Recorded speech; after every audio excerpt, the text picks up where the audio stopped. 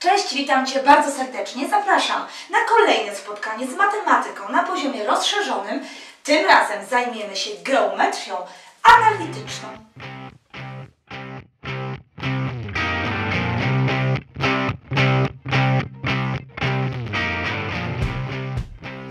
Geometria analityczna to inaczej geometria w układzie współrzędnych. Musisz do tego umieć obliczać długość odcinka, wyznaczać środek odcinka, następnie umieć znaleźć prostą przechodzącą przez dwa punkty, czy też wykorzystać kąt nachylenia wykresu e, prostej, prawda, funkcji liniowej do osi OX, czy też znać jaką, jaka jest zależność pomiędzy prostymi równoległymi, pomiędzy prostymi prostopadłymi, ale dodatkowo dochodzi jeszcze równanie okręgu. I to równanie okręgu na nie zwróć szczególną uwagę, właśnie przygotowując się do matury rozszerzonej z matematyki, bo często równanie okręgu i z nim związane zadania bywają właśnie na poziomie rozszerzonym. Ja na to spotkanie wybrałam przykładowe zadania. Starałam się, żeby były różnorodne te zadania, aczkolwiek oczywiście zwróciłam szczególną uwagę na zadania z okręgiem w układzie współrzędnych. Dlatego zapraszam Cię serdecznie do analizy tych zadań, które właśnie przygotowałam na to nasze spotkanie. Spotkanie z trudną, taką żmudną w obliczeniach geometrią analityczną. Zadanie numer 1. Punkty A o współrzędnych minus 4 i 3 oraz B o współrzędnych 6 i 7 są symetryczne względem prostej K. Wyznacz równanie tej prostej oraz wyznacz obraz punktu F o współrzędnych 8 i 2 w symetrii względem prostej K. Czyli w tym zadaniu chodzi nam głównie o to, żeby przypomnieć sobie, jak działa symetria względem prostej. Otóż Wyobraźmy sobie, że mamy dwa punkty. Ja, ja, te punkty oczywiście mogłabym zaczepić w układzie współrzędnych, porządnie je narysować w układzie współrzędnych, ale nie mam takiej potrzeby nawet rysowania tego układu współrzędnych. Wystarczy, że będziemy rozumieć, co to znaczy symetria względem prostej. Otóż mamy jakiś punkt A, ja go tutaj zaznaczę, i mamy jakiś punkt B. I teraz mamy napisać równanie prostej, względem której punkt A przechodzi na punkt B, czy też punkt B przechodzi na punkt A. Żeby to zrobić, to po pierwsze musimy sobie poprowadzić prostą przechodzącą przez te dwa punkty i napisać jej równanie, o tym za chwilkę. I następnie prosta, względem której punkt A będzie symetryczny do punktu B i na odwrót, to będzie nic innego jak symetralna odcinka AB. Popatrz, ja tą prostą teraz y, y, namaluję. Oczywiście postaram się, żeby to w miarę było, zgadzało się y, faktycznie z tym moim odcinkiem. Jest to prosta, która przechodzi przez środek i pada pod kątem prostym. Mamy tutaj do, do właśnie wykorzystania pojęcie, pojęcie symetralnej, czyli jak wyznaczyć symetralną inaczej odcinka, bo popatrz, symetralna odcinka tego naszego AB to będzie nic innego jak ta prosta K, względem której te punkty są do siebie symetryczne. Symetryczne, czyli po odbiciu właśnie pod kątem prostym, względem tej prostej, punkt A przechodzi na drugą stronę. I tak samo punkt B przechodzi na drugą stronę. Czyli żeby to zrobić, to musimy tutaj wykonać parę kroków. Po pierwsze, Fajnie by było znaleźć współrzędne tego e, punktu S, tego środka odcinka. Ja może wyznaczę. E, środek odcinka wyznaczamy zawsze jako jego współrzędne, jako średnie arytmetyczne tych współrzędnych. Czyli będziemy mieć tak, minus 4 dodać 6 nad 2, przecinek i 3 dodać 7 nad 2. No i oczywiście tu policzymy, to będzie 2 nad 2, czyli będzie 1 przecinek, a tu będzie 10 nad 2, czyli to będzie 5. Czyli punkt S ma współrzędne 1 i 5. On się nam w pewnym momencie sprzyda.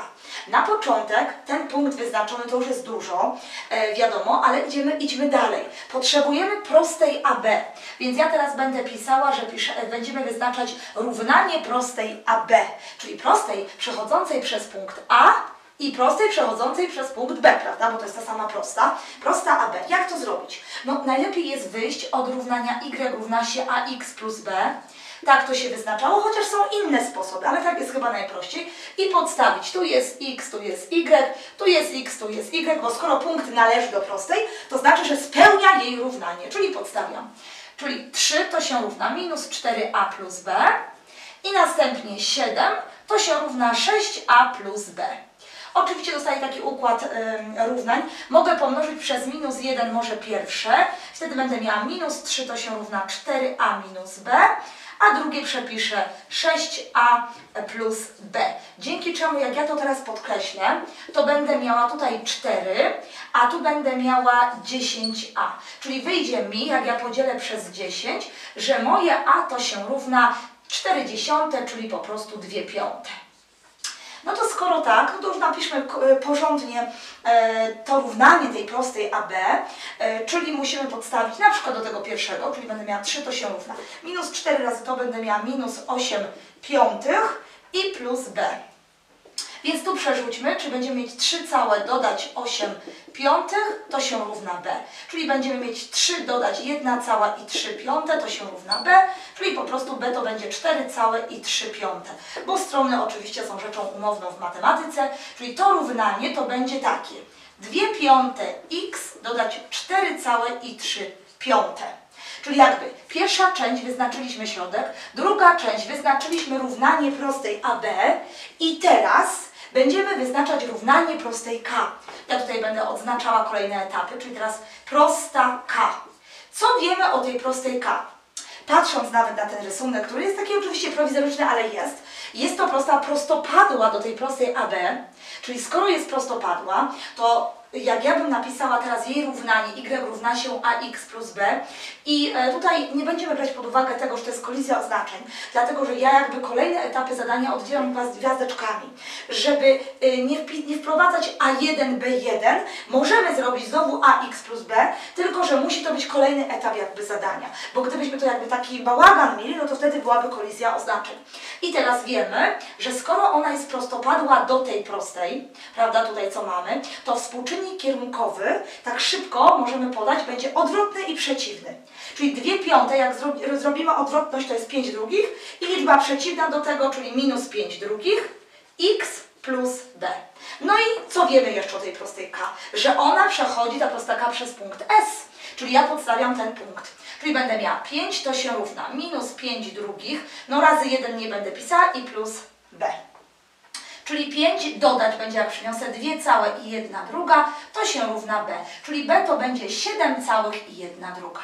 Zatem e, równanie tej prostej, może tutaj skończę, to będzie y to się równa i będziemy mieć minus 5 drugich x dodać 7 całych i 1 druga. Czyli to jest jakby pierwsza część e, tego zadania. Mieliśmy wyznaczyć równanie prostej k. To jest nasza prosta K wyznaczona.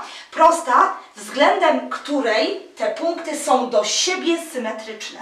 Czyli punkt A, rzutując prostopadle, tak, na tą prostą, w symetrii przechodzi na punkt B i na odwrót. Punkt B przechodzi na punkt A. Wszystko ok, ale teraz druga część zadania, czyli ja to zaznaczę kolejny jakby gwiazdeczka, kolejny etap. My mamy znaleźć obraz punktu F w symetrii względem tej prostej K. Czyli jednym słowem, ja mogłabym sobie tutaj na rysunku zaznaczyć, że będzie gdzieś punkt F, mam jego współrzędne podane i mam znaleźć obraz w symetrii. Czyli mam znaleźć jakieś F' e, w symetrii względem tej prostej. Możemy to oczywiście znowu mm, tutaj próbować w różny sposób rozwiązywać, bo sposobów na to jest co najmniej kilka, natomiast musimy sobie wybrać taki, który by nam tutaj odpowiadał. Po pierwsze, gdybyśmy chcieli, to możemy sobie oczywiście utworzyć prost, równanie prostej FF', równanie prostej FF', dlatego że prostą K mamy, a prosta FF' będzie do niej prostopadła i przechodząca przez F. To jest jak najbardziej e, no, fajny sposób i chyba od tego powinniśmy zacząć, prawda? Czyli ja tutaj rysuję. Teraz będziemy wyznaczać prostą, napiszę prosta f, f prim. U mnie na moim rysunku f, f prim. To będzie prosta znowu prostopadła do tej, albo inaczej równoległa do tej. Jakkolwiek. Możemy sobie napisać, że prosta f, f prim równoległa do prostej a, b. I skoro równoległa, to ma taki sam współczynnik kierunkowy, czyli ona oczywiście znowu kolejny etap i tutaj znowu nie przejmujemy się kolizją oznaczeń, jak przeszkadza, to możesz wszędzie sobie numerować te A, A1, A2, czy B1, B2, B3, ale myślę, że jeżeli tak, to będziemy etapami mm, rozkładać to zadanie, to tutaj nie będzie problemu z tym, żeby się doczepić do tego. Czyli wiemy już, że jest równoległa do tej prostej AB, a prosta AB miała tutaj e, wzór, to była kontynuacja, to był wzór tej prostej AB, czyli będzie miała równa 2 piąte x, dodać znowu jakieś b. I teraz podstawiamy punkt oczywiście f, no bo mamy prostą f, f', a skoro, te, skoro co, przecież mamy punkt f podany. Czyli podstawiamy i będziemy mieć 2 to się równa 2 piąte razy 8 dodać b. Czyli 2 to się równa, będziemy mieć 16 piątych dodać b. Czyli tu wyciągniemy sobie całości, czyli będziemy mieć 3 całe i 1 piąta dodać b. Jak przerzucimy to będzie minus 1 cała i 1 piąta, to się równa b. No i teraz napiszemy to równanie, czyli będzie y to się równa 2 piąte x będzie i minus, może napiszmy 6 piątych, niech będzie. Czyli to jest to równanie prostej f, f'.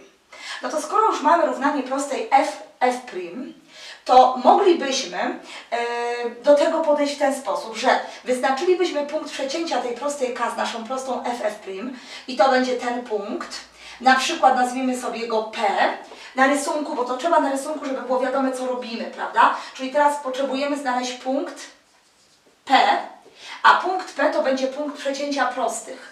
I teraz prosta ta, którą znaleźliśmy, czyli 2 piąte x minus 6 piątych, to jest ta jedna prosta, a druga to jest ta prosta k, bo ten punkt P leży i na tej prostej i na tej.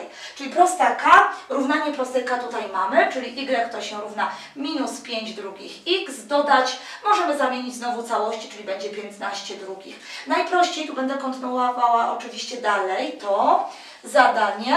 E, najlepiej to jest przyrównać do siebie, czyli będziemy mieć 2 piąte x minus 6 piątych, to się równa, bo y są takie same, minus 5 drugich x, dodać 15 drugich. No i co? Może pomnożymy razy 10, czyli tu będziemy mieć wtedy 4x minus 12, to się równa minus 25x i plus 15 razy 5 to jest 75. Przerzucimy, czyli będziemy mieć 29x, to się równa i tu jak przerzucimy będziemy mieć 87. Podzielimy przez 29 i x nam wyjdzie równe 3. No bo 3 razy 29 da nam właśnie 87 i teraz podstawimy chociażby do tego, do tego pierwszego, czyli y to się równa, będziemy mieć tutaj 2 razy 3, a to będzie 6 piątych minus 6 piątych, czyli po prostu 0. Czyli wyszedł nam ten punkt P, e, że ma współrzędne 3 i 0. No już jesteśmy bardzo blisko, ale potrzebujemy tego f'. No znowu możemy pomyśleć, jak do tego podejść. Możemy z długości odcinka, ale byłoby to bardzo żmudne, bo musielibyśmy wykorzystać fakt, że punkt ten f' e, należy do prostej. Ja zrobię to szybciej, a żeby było troszkę inaczej, z wektorami zrobimy sobie. Czyli punkt f' niech u mnie ma współrzędne jakieś f i e, żeby znowu nie było tego x i y, czyli f i e. I teraz popatrz, narysuję Tobie wektor taki, i ten wektor jest równy temu wektorowi. Dlaczego? Dlatego, że mam taką samą długość, taki sam zwrot i taki sam kierunek, prawda? Czyli to są wektory równe, to zapiszę. Czyli wektor fp równa się wektorowi p f prim. Nie każdy lubi robić, rozwiązywać zdania z geometrii analitycznej wektorami, ale ja e, zwracam na to uwagę, że wektory nam czasem upraszczają. Zamiast zrobić takie długie, długie obliczenia, wektorami zrobimy szybciej. I przypominamy sobie, jak to liczyło się wektorami. Otóż współrzędne wektora liczymy w taki sposób, że od końca e, tego wektora odejmujemy początek. I to od x odejmujemy x, od y, y, czyli wektor fp. Koniec jest w punkcie p, czyli od trójki odejmujemy początek, czyli mamy tutaj w punkcie f8. Przecinek to samo robimy na y, czyli od zera, czyli z tego punktu odejmujemy tutaj dwójeczkę. I to się równa. Teraz mamy wektor, który ma koniec w punkcie f', prawda? Koniec tam gdzie czołeczka, czyli teraz będziemy od f odejmować p, czyli trójkę i od e odejmować tutaj u nas współrzędną punktu P, czyli 0. Pamiętaj, x z xami, y z y. No i oczywiście to są proste obliczenia matematyczne. Minus 5 minus 2 to się równa f minus 3,e. To, są, to jest równanie wektorowe, prawda? E, Dwa wektory to są do porównania i teraz, żeby te wektory były równe, to oczywiście pierwsza współrzędna zgadza się z pierwszą współrzędną, druga współrzędna ma się zgadzać z drugą współrzędną. W zasadzie w głowie możemy podać, że f to jest minus 2, a e to też musi być minus 2. Bo jak podstawię minus 2, to mam minus 2, minus 3 to jest minus 5. No i jak e będzie minus 2, to będzie się zgadzało. Czyli ostatecznie f' ma współrzędne minus 2 i minus 2. Czyli ten obraz, obraz punktu naszego podanego f w symetrii względem prostej k wyznaczyliśmy dosyć czasochłonne, to jest takie długotrwałe, trwałe, mozolne, co po niektórzy powiedzą, no ale taka jest geometria analityczna. Wyznaczyliśmy współrzędne tego obrazu punktu F w symetrii względem prostej. Mając dane współrzędne punktu C minus 5 jest 0, kwadratu ABCD oraz współrzędne przecięcia przekątnych S 1, 2, wyznacz współrzędne pozostałych wierzchołków kwadratu ABCD. Bardzo częste zadanie z kwadratem ABCD, no takie czasochłonne, nie powiem, że nie, bardzo często występujące gdzieś w zestawach maturalnych, młodzieży sprawiające kłopot, dlatego ja je wybrałam. I teraz tak, mamy wyznaczyć wszystkie współrzędne. Ja przygotowałam taki rysunek, oczywiście znowu nie w układzie współrzędnym, dlatego żeby tutaj e, za dużo miejsca mi nie zajęło, więc narysowałam taki kwadrat e, luzem, oczywiście go tak ustawiłam, no ale można normalnie też ustawić tak fajnie do patrzenia, mm, ale to już jak chcemy, prawda? To już nie ma znaczenia. I teraz tak, y, mamy podane współrzędne punktu C, czyli tego tutaj minus 5 i 0 i mamy podane S. Najpierw Oczywiście wyznaczymy współrzędne punktu A. Dlaczego? Dlatego, że albo to zrobimy z wektorów, jak zadanie numer jeden, poprowadzimy wektor CS i powiemy, że on jest równy wektorowi SA, albo zrobimy inaczej, żeby też Ci pokazać, że możesz wykorzystać oczywiście wzór na środek odcinka. Może tym razem zrobimy tak, czyli współrzędne punktu A niech będą u mnie na przykład y, zaznaczone literkami jakieś M i N, żeby nie było zawsze X y, i Y. I teraz, skoro S to jest środek odcinka, y, AC widzimy, no bo punkt przecięcia się przekątny w kwadracie, mm, to oczywiście one się przecinają w środku, prawda? Więc dlatego mówimy, że to jest środek odcinka AC. Zatem wykorzystamy wzór na środek. Czyli będziemy mieć tak, bierzemy współrzędną z punktu A, czyli M, Dodajemy pierwszą współrzędną z punktu C, czyli minus 5, dzielimy przez 2, bo to średnia arytmetyczna jest współrzędnych. I tak samo robimy z y, czyli n, no dodać 0, no to już nie będę pisała, nad 2. I teraz ja mam podane, że mój środek ma współrzędne 1 i 2. Czyli ja po prostu ułożę dwa takie proste równanka. m minus 5 nad 2 to 1 i n nad 2 to 2. Jak pomnożę oczywiście obustronnie razy 2, będę miała, że m minus 5 to 2, a n to się równa 4. Zatem m to jest 7, a n to jest 4, czyli ja od razu mogę powiedzieć, że współrzędne punktu A to będzie 7,4. No więc już mamy jakiś tam punkt, jakby pierwszy etap naszego zadania. Zrobiliśmy to zadanie z wykorzystaniem środka, środka odcinka. Moglibyśmy to samo zrobić wektorami, tylko chciałam zrobić inaczej niż w zadaniu numer jeden, żeby Ci pokazać, że albo używasz wektorów, albo w tym wypadku używasz e, środka odcinka, wzoru na środek odcinka, który też się bardzo przydaje. Dobra, następna rzecz, którą zrobimy, ja to będę gwiazdeczkami oznaczała znowu kolejne etapy. W geometrii analitycznej często jest dużo etapów, więc trzeba sobie jakoś to oddzielać, żeby to y, razem tworzyło całość, prawda, żeby to było spójne. Otóż tak, potrzebujemy współrzędnej punktu B, i współrzędnej punktu D. Widzimy, że wiemy o tym, że przekątne przecinają się pod kątem prostym, czyli tutaj będzie kąt prosty, prawda? Co my z punktu A i C jesteśmy w stanie wykapować? No jedynie długość przekątnej. Czyli skorzystamy sobie ze wzoru na mm, długość przekątnej, na, konkretnie będziemy chcieli wykorzystać po to ten wzór, żeby wyliczyć długość boku, bo skoro tu jest A, tu jest A, bo to kwadrat, no to przekątna oczywiście ma y, długość D i na to jest wzór, że D to się równa A pierwiastek z dwóch. Być może długość boku kwadratu nam się sprzyda, no to jest kluczowe. Bardzo ważne, że ten kwadrat ma jakąś długość boku. No ale najpierw musimy znaleźć przekątną. Otóż przekątna, długość tej przekątnej to jest nic innego jak długość odcinka AC. I teraz przypominamy sobie ten wzór taki wielki z pierwiastkiem, wzór na długość odcinka, prawda? Wzór na długość odcinka i będziemy we w tym wzorze odejmować tak, x z x, czyli będzie 7, odjąć minus 5, czyli plus 5 do kwadratu, dodać. I to wszystko pod pierwiastkiem. I teraz y, 4 odjąć no 0 do kwadratu. Czyli dalej piszemy d to się równa pierwiastek i tu będziemy mieć 12 do kwadratu 144, dodać 4 do kwadratu, czyli 16, czyli mamy pierwiastek ze 160. No nie najprzyjemniejszy, ale rozbijemy 16 razy 10, czyli będą 4 pierwiastki z 10. I teraz wykorzystamy ten wzór, czyli zapiszemy, że nasze a pierwiastek z 2 to są 4 pierwiastki z 10. Jak sobie teraz podzielimy przez pierwiastek z dwóch, to dostaniemy, że a to będą 4, ale pierwiastki z 5. No też nie jest jakoś cudowne, prawda, bo nie wyszło nam a równe 7, tylko wyszło z pierwiastkiem, no ale cóż poradzić, takie wyszło a. I teraz to a to jest nic innego jak długość tego boku, tego boku, no każdego boku, nie? Ale żeby... Mm, wykorzystać tą, ten wzór na długość, załóżmy, niech będziemy analizować ten sobie bok, nie? To tak, współrzędne punktu A mamy, spoko, natomiast współrzędne punktu B, no niestety nie mamy. Czyli te współrzędne punktu B musielibyśmy sobie oznaczyć też jakimiś literkami. Na przykład niech będzie y, E i F, nie? Obojętnie, jakiekolwiek tam literki. I teraz tak, jak ja wykorzystam jeszcze raz wzór na długość, to mam dalej dwie niewiadome.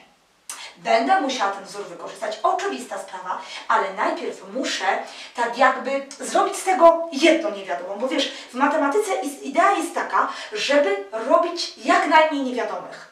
Ale żeby to zrobić, to ja zanim wykorzystam wzór na długość tego odcinka naszego chociażby AB, prawda, bo już wiem ile ta długość wynosi, to ja będę musiała jeszcze coś innego zauważyć. No ktoś mi powie, że długość tego odcinka BC też jest taka sama. Tak, ale nie można w jednym zadaniu wykorzystywać dwa razy długości, bo najczęściej wtedy dostajemy tożsamość. No bo oczywiście jest to prawda, ale trzeba jeszcze coś wykorzystać. I najprościej jest wykorzystać to, że ta mm, prosta, y, tutaj, którą, która zawiera przekątną DB, prawda, możemy poprowadzić prostą, to ona będzie przechodziła przez ten punkt B. Ona jest prostopadła do prostej AC. Czyli jednym słowem, dobrze by było na, napisać równanie prostej, która przechodzi przez A i C, no bo przecież mogę, bo mam A i mam C. Ja w skrócie zapisuję prosta AC. Nie będę jej przedłużała, ale oczywiście wiemy, że to jest ta prosta przechodząca przez y, te punkty A i C. Standardowo zapisuję zawsze Y równa się AX plus B. Tu nie martwmy się znowu o kolizję oznaczeń, dlatego że to jest od gwiazdeczki oddzielony kolejny etap. Czyli podstawiamy punkty. Podstawiam punkt A, czyli będę miała 4 równa równa się 7a plus b i punkt C, czyli 0 równa się minus 5a plus b. No to tutaj e, może zróbmy tak, że od razu teraz będziemy odejmować. E, w poprzednim zadaniu dodawaliśmy stronami, teraz odejmujmy. 4 minus 0 to jest 4, 7a odjąć minus 5a, to jest wtedy 7a dodać 5a, czyli 12a, no i b odjąć b, to jest y, oczywiście 0. Y, dzielimy sobie przez 12 i dostajemy, że a to się równa 4 12, czyli 1 trzecia. No to skoro mamy A, w zasadzie to nas wystarczy, tak można powiedzieć. Wcale byśmy nie musieli tego B wyznaczać, ale to szybciutko B zapiszmy z tego drugiego, to będzie 5A jak przerzucimy, czyli to będzie 5 trzecich. Czyli ta prosta AC ma równanie Y równa się 1 trzecia X dodać 5 trzecich. Ta prosta AC jest nam potrzebna do kolejnego etapu, ja może tutaj oddzielę, żeby nam się tutaj nie pomieszało, do kolejnego etapu, jakim jest wyznaczenie prostej Teraz BD. No bo prosta BD, prawda, będzie przechodziła przez B i od razu przez D, ale też przez punkt S i będzie prostopadła do AC. Czyli skoro prostopadła do AC, ja znowu zapiszę jej y równa się ax plus b, żeby tak było. Jest prostopadła, czyli będzie się zaczynała od, tu jest 1 trzecia x, a my musimy tutaj to wywrócić, e, ten współczynnik kierunkowy i zmienić znak. Czyli będzie minus 3x plus b. I podstawiam punkt S, który był mi oczywiście konieczny do zadania. Czyli podstawiam, czyli będę miała 2, to się równa minus 3 razy 1, to nie piszę plus b. Czyli jak poprzerzucam, to b jest 5. Czyli y to się równa minus 3x plus 5. Popatrz, jakie to jest ważne. Jaka ważna jest dla mnie prosta BD. Dlaczego? Dlatego, że y, prze, ta, ta prosta BD przechodzi przez punkt B, i przez D. To skoro przechodzi przez punkt B, ta prosta, to znaczy się, że punkt B mogę podstawić do tej prostej. I bardzo ważna rzecz mi wychodzi, że jak ja podstawię Y, czyli F, to się równa minus 3x, czyli E, dodać 5. I popatrz, dostaję piękną zależność, zależność na punkt B. Zarazem będzie to zależność na punkt D. Dlatego, że punkt D mogłabym tak samo oznaczyć literkami, też taka sama zależność będzie.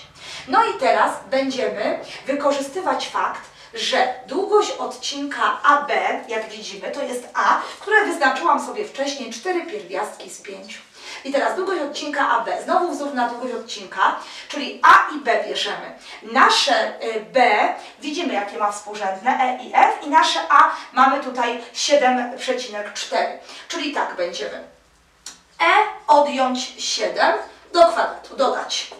Teraz będziemy mieć F odjąć 4 do kwadratu i to się równa 4 pierwiastki z 5. Żeby się pozbyć tego wielgachnego pierwiastka, podnoszę obustronnie do potęgi i wtedy będę miała tutaj, tylko tak, to mogę już podnosić do, do kwadratu wzorem skróconego mnożenia e kwadrat minus 14e dodać 49 dodać, a tutaj byłoby mi wygodnie pod f podstawić minus 3 e plus 5 minus 4 do kwadratu, to się równa i to podnoszę do kwadratu. Będę miała 16 razy 5, a, czyli 16 razy 5 to jest 80. E, no i skoro tak, no to teraz tutaj będę coś wykonywała, czyli to przepiszę e kwadrat minus 14e, dodać 49, dodać, tu będę miała, może napiszę tak, 1 minus 3e i to do kwadratu równa się 80.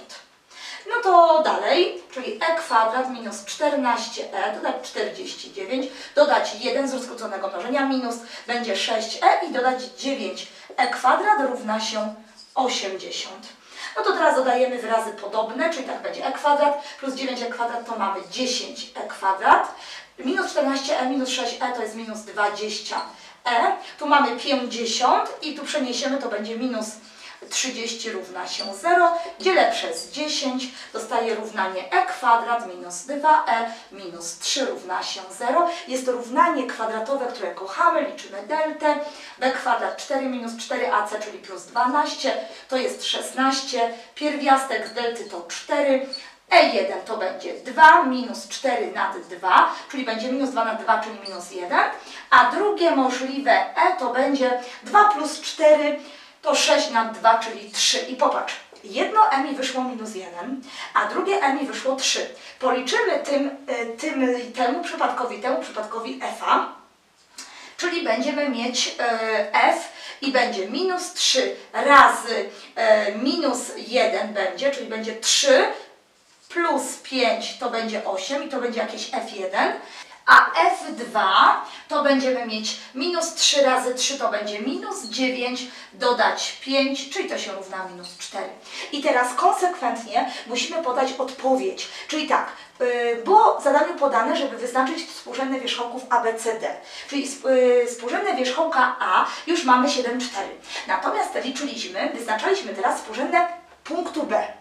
Ale zauważ, że e, współrzędne punktu B spełniają tą zależność tutaj, ale tą samą zależność spełniać będą współrzędne punktu D. Dalej, współrzędne punktu B spełniają tą zależność, że AB to jest 4 pierwiastki z 5, ale AD to też jest 4 pierwiastki z 5. Czyli zauważmy, że to co nam wyszło, to wyszło nam zarazem współrzędne punktu B, jak i współrzędne punktu D. Tylko ja nigdy nie wiem, w którą stronę numerujemy wierzchołki. Niby zasada jest taka, że tak powinniśmy numerować A, B, C, D. Ale w sumie moglibyśmy A, B, C, D. Dlatego w tej odpowiedzi ostatecznej musimy uwzględnić, napiszę tutaj odpowiedź, że tak. Po pierwsze współrzędne punktu A mamy to jest 7,4, natomiast współrzędne punktu B mogą być takie, że B będzie miało współrzędne minus 1 i 8, ale może być też druga opcja, że B będzie miało współrzędne 3 minus 4.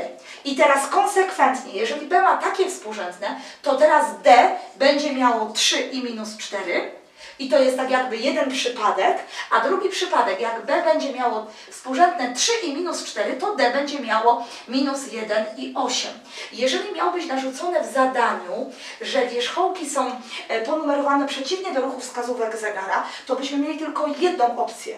Ale ze względu na to, że nie wiemy jaka jest numeracja wierzchołków, musimy napisać te dwa przypadki.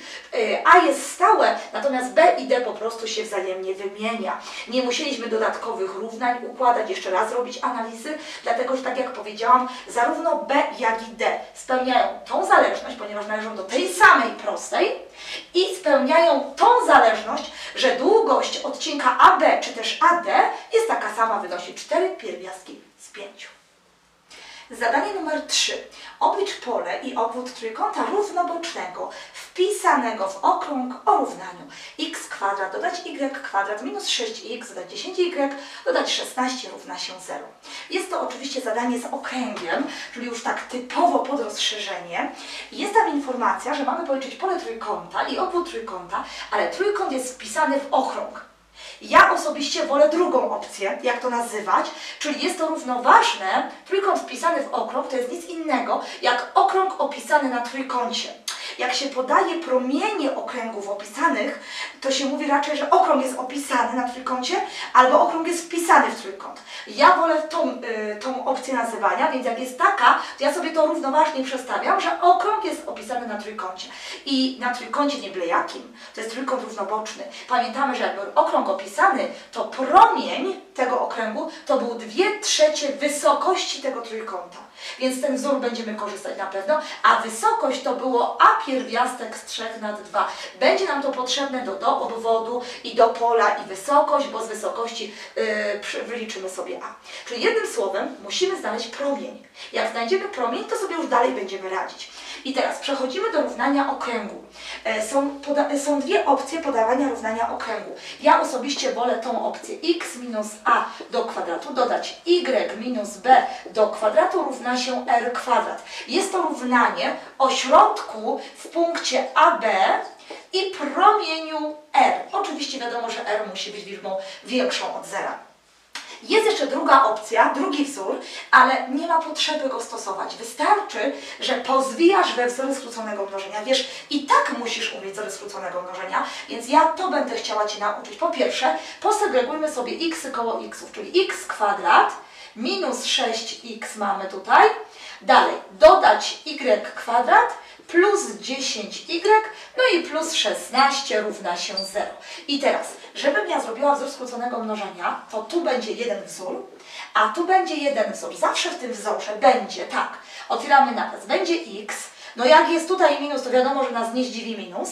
I teraz musimy coś mieć i do kwadratu. I teraz jak to wyliczyć? Wystarczy, że tą liczbę podzielisz przez 2. Dlaczego? Bo we wzorze jest 2ab, prawda, skróconego mnożenia. Czyli jak szóstkę podzielimy przez 2, to mamy 3, wpisujemy trójkę. No ale x kwadrat się zgadza, minus 6x się zgadza, jeszcze jest plus 9. To ja od razu muszę minus 9, bo wiesz, ja to muszę zrównoważyć równanie. Dalej, to samo robimy z drugim, czyli będzie y, teraz będzie plus i znowu dziesiątkę dzielę przez 2 i mam 5 i do kwadratu. I znowu y kwadrat się zgadza, plus 10y zgadza się, plus 25, nie mam 25, czyli minus 25, bo muszę zrównoważyć, no i plus 16 równa się 0. No to teraz tak, x minus 3 do kwadratu zostawiamy, y plus 5 do kwadratu zostawiamy, to się równa, a to wszystko przerzucamy. Czyli tak, minus 9 minus 25 to jest minus 34, przerzucamy, będzie 34. No i minus 16 sobie zapiszemy. Czyli w zasadzie mamy tak, y minus 3 do kwadratu, dodać y, dodać 5 do kwadratu równa się 34 minus 16, musimy sobie tutaj oczywiście to policzyć, no to będzie 18. I teraz zgodnie z równaniem okręgu widzimy r kwadrat, to my tutaj mamy mm, też r kwadrat, czyli tak naprawdę r to będzie pierwiastek z 18. Rozbijając to będą trzy pierwiastki z dwóch. Tylko ja napisałam małe r, no bo tak się raczej pisze w równaniu okręgu, ale my wiemy, że to jest okrąg opisany, czyli my to r w zasadzie możemy sobie spokojnie zastąpić nawet od razu dużą literką r, bo wiemy, że raczej okrąg opisany jak jest, to jest promień duża literka r w oznaczeniach. No i teraz ułóżmy nasze równanie, że 2 trzecie h to będą trzy pierwiastki pierwiastki z dwóch u nas, czyli pomnożymy przez 3 drugie, czyli h to będziemy mieć 9 pierwiastków z 2 nad 2. No to skoro tak, to jeszcze a potrzebujemy, czyli 9 pierwiastków z 2 nad 2, to się równa a pierwiastków z 3 nad 2. Jakbym to rozdzieliła, to jest pierwsza część zadania i to jest druga część zadania, tutaj już obliczenia na trójkącie równobocznym. No i może razy 2 pomnóżmy, czyli będziemy mieć a pierwiastki z 3, to się równa 9 pierwiastków z 2, podzielimy przez pierwiastek z 3 i mamy, że a to się równa 9 pierwiastków z 2 nad pierwiastek z 3. No usuwamy niewymierność, żeby oczywiście ładnie było. 9 pierwiastków z 6 będzie nad 3, czyli 3 pierwiastki z 6 po skróceniu. No i teraz chcieli od nas obwód, no to napiszmy obwód. Czyli ostatnia część zadania to już jest obliczenia. Obwód trójkąta to jest oczywiście trójkąt równoboczny 3a, czyli będzie 9 pierwiastków z 6.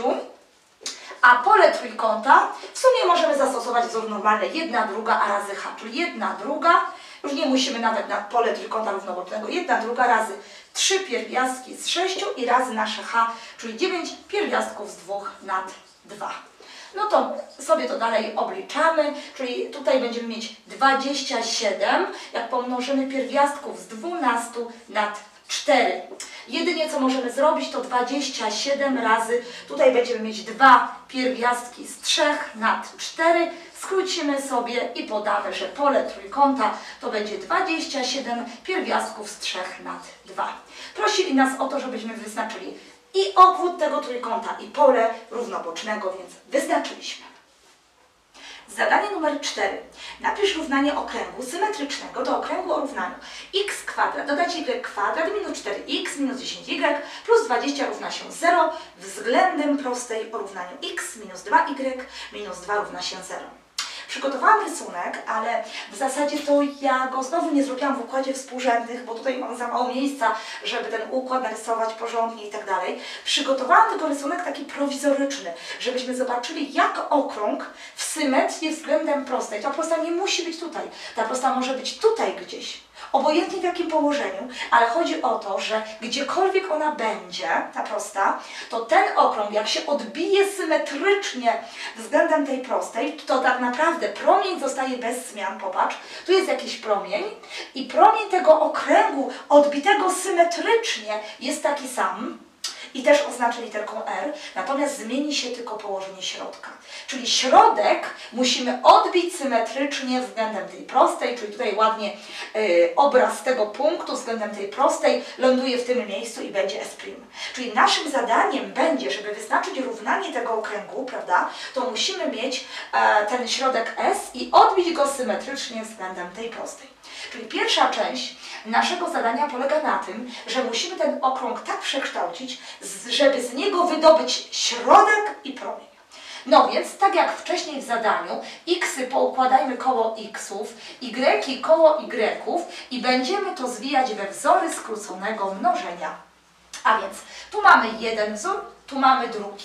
Czyli musimy mieć tak, x, widzimy, że minus i teraz 4 podzielone przez 2 to jest 2, czyli musi być tutaj dwójka do kwadratu i widzimy, że ten ostatnia część, ta ostatnia część wzoru skróconego mnożenia tutaj będzie po rozwinięciu 4, czyli ja tego nie mam, czyli odjąć 4. Dodać. Teraz tutaj mamy y, odjąć będzie, bo minus. 10 podzielone przez 2 to jest 5 i musi być do kwadratu. I znowu mamy ostatnią część wzoru skróconego mnożenia 5 kwadrat, czyli 25. Odejmujemy 25, no i przepisuję dodać 20 równa się 0. Czyli ja zostawiam te nawiasy, żeby to pod moje równanie okręgu pięknie tutaj wyglądało. Te nawiasy zostawiam. Tu będę miała minus 29 plus 20, może od razu to będzie minus 9, jak przerzucę to będzie 9. Czyli ja w zasadzie jestem w stanie odczytać już promień, to będzie pierwiastek z 9, czyli 3 i ten środek S ma współrzędne 2 i 5 u nas. 2,5. Czyli mamy już jedną część zrobioną, wiemy wszystko na temat tego okręgu. Następna sprawa, którą musimy się zająć, to czyli na, na, zaznaczę sobie tutaj druga gwiazdeczka, jakby drugi etap naszego zadania, to jest to, żeby otrzymać to S'. A S' to będzie nic innego jak odbicie tego punktu względem tej prostej. Czyli równanie tej prostej mamy, Tyle, że to równanie jest takie może nie bardzo, nie? Ja je przepiszę x minus 2y minus 2 równa się 0. My byśmy chyba woleli postać kierunkową, czyli wyliczmy z tego y, czyli przerzucę, tu będę miała minus x i to przerzucę, czyli plus 2. Podzielę przez minus 2 i mam y równa się 1 druga x będzie minus 1. Dlaczego to wolę? Ponieważ ja wiem, że moja prosta, napiszę teraz, prosta s, s', a nie będę jej rysowała całej, ale tylko kawałeczek widzimy, prawda, tej prostej. Prosta s, s' będzie do niej prostopadła, czyli ona jest prostopadła do prostej k. Więc skoro jest prostopadła, to jak ona będzie miała standardowe równanie ax plus b, to skoro jest prostopadła, to ja od razu mogę szybciutko a podać. Odwrócę to i zmienię znak, czyli będę miała minus 2x plus b.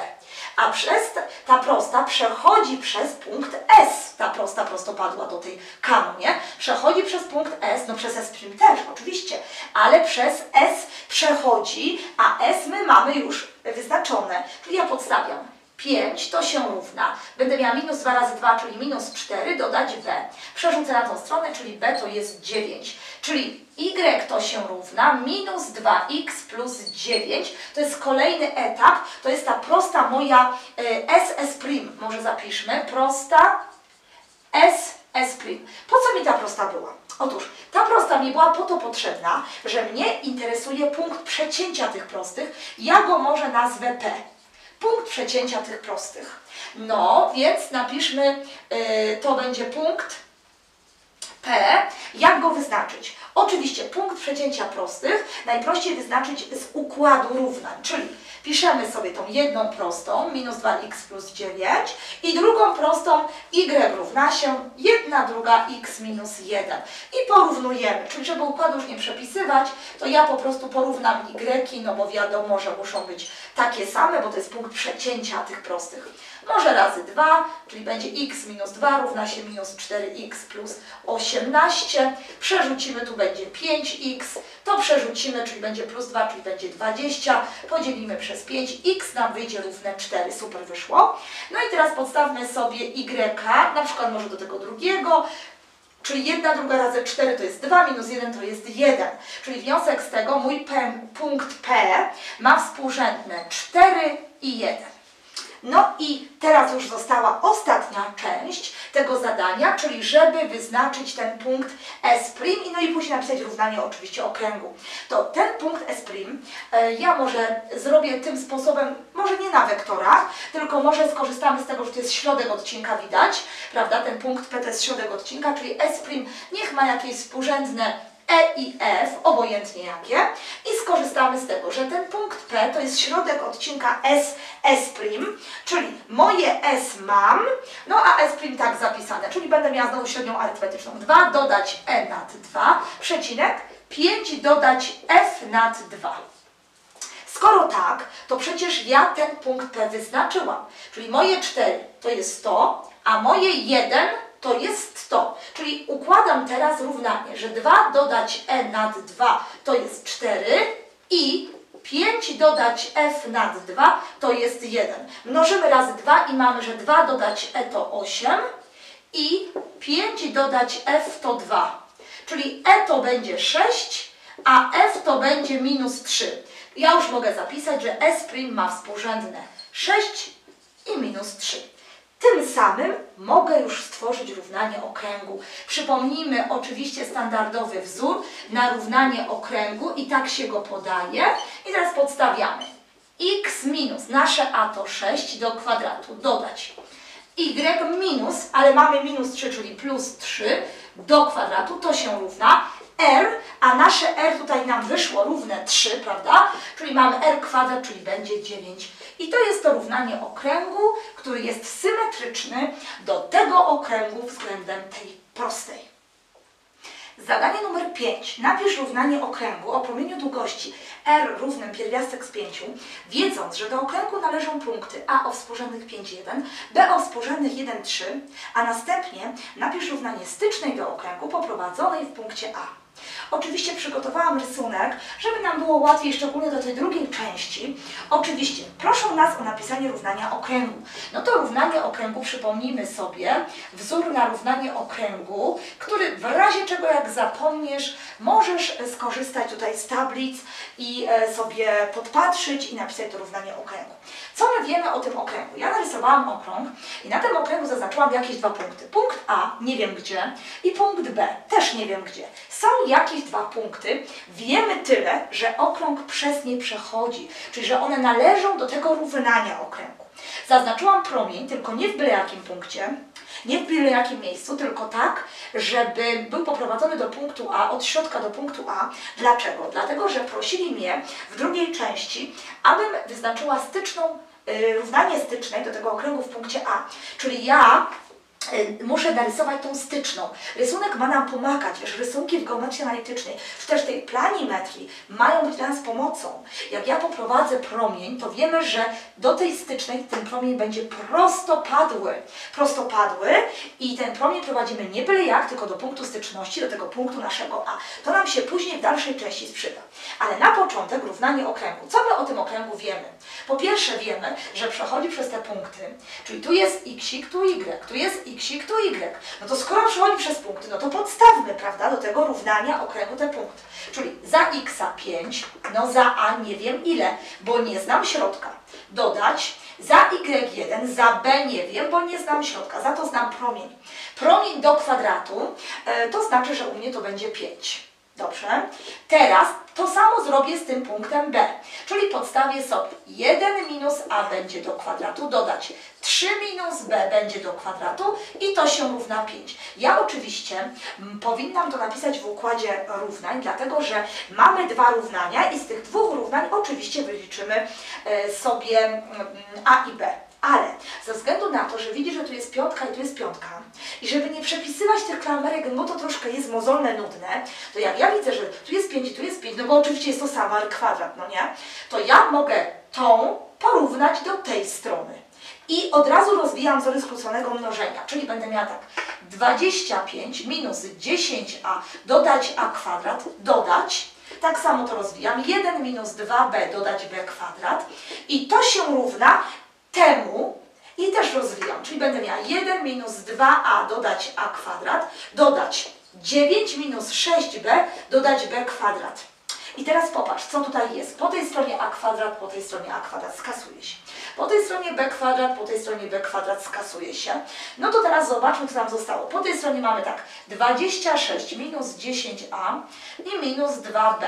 To się równa. Po tej stronie będę miała 10 minus 2a i minus 6b. No jak widzimy, mamy dwie niewiadome, bo to wiadomo, że mamy na razie dwie niewiadome, ale postarajmy się jedną niewiadomą wyznaczyć. Może wyznaczymy sobie e, literkę b, czyli b na tą stronę, czyli będę miała minus 2b dodać 6b, to się równa. I teraz minus 2a, tu będzie dodać 10a, Dalej będę miała dodać 10 i tu będę miała, przeniosę minus 26. Czyli 4b to się równa. Tu będę miała 8a i będę miała minus 16. Podzielę przez 4, wychodzi mi pięknie, bo nie ma takich ułamków, prawda, ciężkich, czyli będę miała 2a minus 4 i to mi wyszła zależność na b.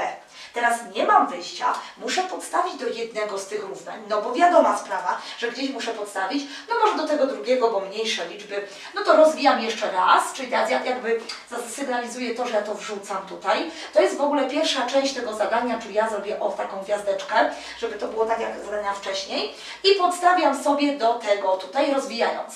1 minus 2a dodać a kwadrat, to rozwinę, dodać, a teraz tutaj może nie będę rozwijała, tylko napiszę tak 3 odjąć i będę to podstawiała, czyli odjąć 2a i będę miała minus i minus, czyli będę miała plus 4 i to do kwadratu równa się 5. No to skoro tak, no to tu przepiszę 1 minus 2a dodać a kwadrat. Dalej będę miała dodać i tutaj napiszemy 7 minus 2a do kwadratu równa się 5.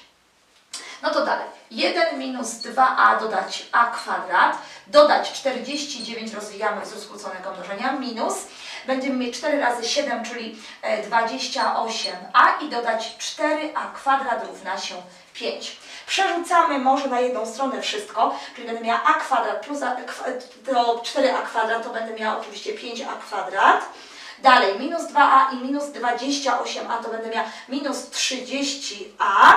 I dalej tu będę miała 50. Jak przerzucę, to będę miała plus 45 równa się 0. Podzielimy sobie przez 5 i mamy a kwadrat minus 6a dodać 9 równa się 0. Równanie kwadratowe oczywiście. Możemy deltą jak najbardziej, a możemy zauważyć, że tutaj faktycznie zachodzi wzór skróconego mnożenia. a minus 3 do kwadratu równa się 0. I kiedy takie mm, wyrażenie będzie równe 0? Wtedy, kiedy a minus 3 będzie zerem, czyli po prostu a jest równe trójce. To skoro tak, to podstawiam teraz w to miejsce, żeby mieć b, czyli będę miała 2 razy 3 to jest 6, minus 4 to jest 2. Czyli to się okazało nam, że środek ma współrzędne 3,2. No to ja prosiłam o równanie okręgu w tym zadaniu.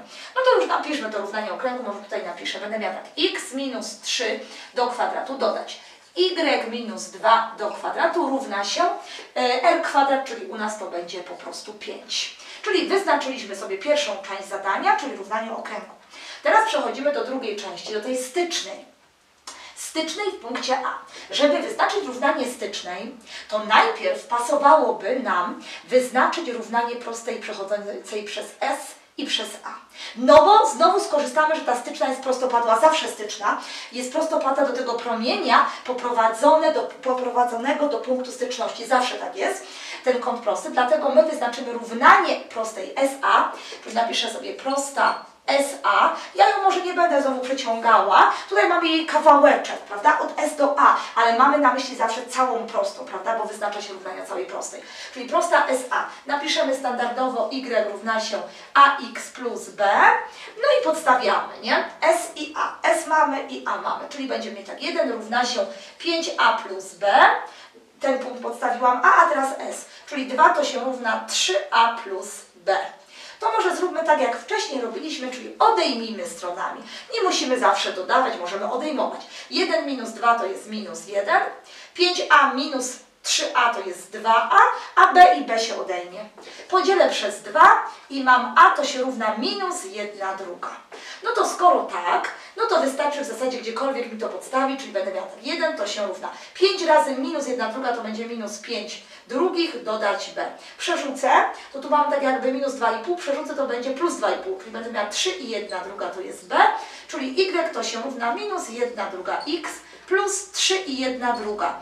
Na pewno już zauważyłeś, że niepotrzebne mi jest to b, mi jest potrzebny tylko współczynnik kierunkowy, bo skorzystam z prostopadłości, ale niech już tam będzie wszystko porządnie.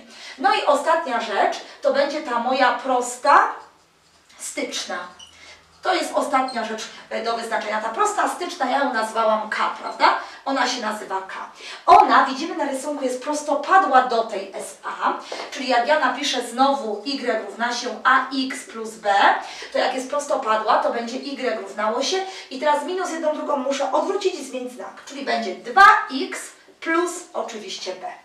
No ale przez co przechodzi ta moja styczna? No widzimy, że ta, to jest moja styczna, przechodzi przez punkt A. Czyli punkt A mogę śmiało podstawić. Czyli tu będę miała 1, to się równa 2 razy 5 to jest 10 i dodać B. Przerzucam tą stronę, czyli wyjdzie mi, że moje B to jest minus 9. I napiszemy ostatecznie Y, to się równa 2x minus 9. To będzie moje równanie tej prostej K. Ja sobie nazwałam tą moją styczną prostą K i to jest jej równanie. Na to spotkanie przygotowałam pięć zadań.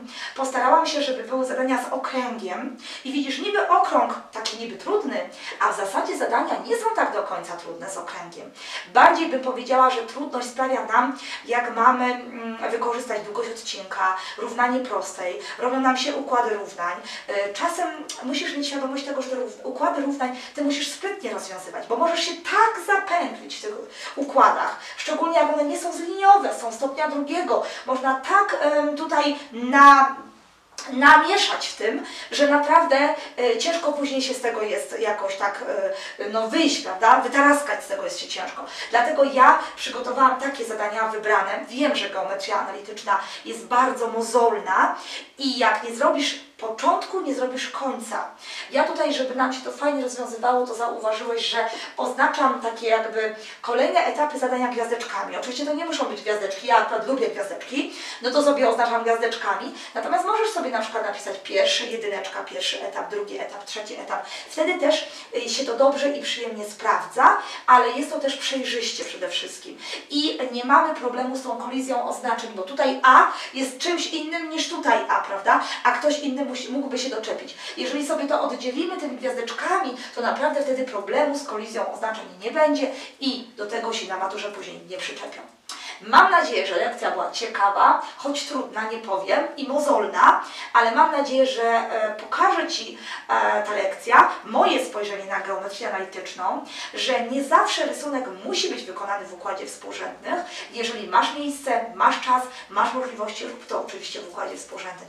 Ale ważniejsze jest, żeby w ogóle wiedzieć, jak się zadanie zabrać, żeby zrozumieć, co to jest styczna, prawda? Y, Co to znaczy odbicie względem prostej. My sobie musimy zrobić rysunek, bo bez rysunku to nie ma szans, żeby do tego zadania y, jakby się dobrać, a tym bardziej ja nie mam szans, żeby bez rysunku Tobie zadanie wytłumaczyć. Owszem, jeżeli zadania są proste, to gdzieś tam możemy pominąć rysunek, ale w tych bardziej rozbudowanych, widzisz, rysunek to jest podstawa na rysunku, e, którym przedstawiamy interpretację właśnie geometryczną zadania, no wszystko jest widać, więc te rysunki robimy estetycznie, staramy się, e, żeby to było przejrzyste, no i dzięki temu fajnie nam się rozwiązuje takie zadania trudne, ale bardzo ciekawe. Zapraszam Cię oczywiście jak zwykle na moją stronę internetową aikamat.pl no i jak zwykle na kolejne spotkanie z iKamat.